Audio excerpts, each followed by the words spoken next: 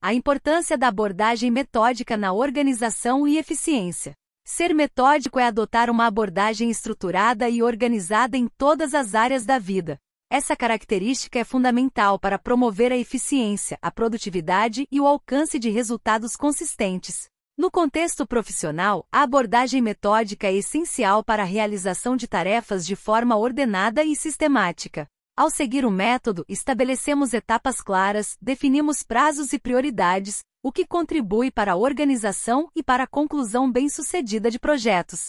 Além disso, ser metódico permite identificar e resolver problemas de maneira mais eficaz, garantindo a qualidade do trabalho. Na esfera acadêmica, a abordagem metódica é fundamental para o aprendizado eficiente. Ao adotar métodos de estudo estruturados, como fazer resumos, criar cronogramas e revisar regularmente o material, maximizamos o tempo dedicado aos estudos e melhoramos nossa compreensão e retenção de informações. A organização metódica também ajuda a lidar com prazos de entrega de trabalhos acadêmicos, evitando o acúmulo de tarefas. No âmbito pessoal, a abordagem metódica promove a organização e o bem-estar. Ao planejar nossas atividades diárias de forma metódica, criamos rotinas eficientes que nos ajudam a aproveitar melhor o tempo e alcançar nossos objetivos pessoais.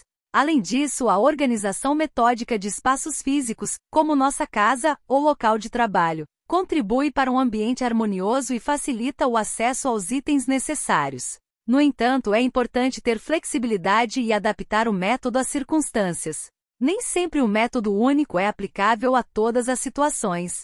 É necessário avaliar e ajustar a abordagem conforme necessário, levando em consideração os imprevistos e mudanças de contexto.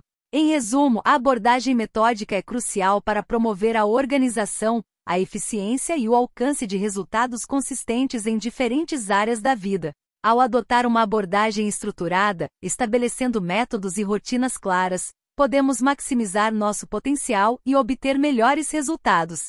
No entanto, é importante manter a flexibilidade e adaptar o método quando necessário, garantindo que estejamos sempre lidando de forma eficiente com os desafios que surgem.